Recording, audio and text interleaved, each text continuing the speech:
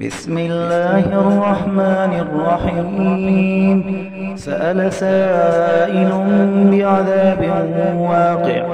للكافرين ليس له دافع. من الله ذي المعارج. تعرج الملائكة والروح إليه في يوم كان مقداره خمسين ألف سنة. فاصبر صبرا جميلا إنهم يرونه بعيدا ونراه قريبا.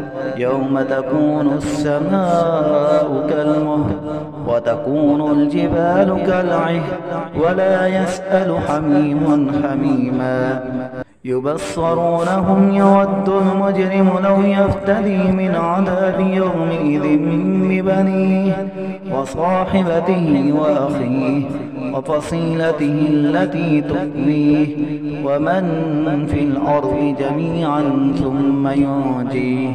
كلا إنها لظى نزاعة للشوى تدعو من أدبر وتولى وجمع فأوعى إن الإنسان خلق هلوعا إذا مسه الشر جزوعا وإذا مسه الخير منوعا إلا المصلين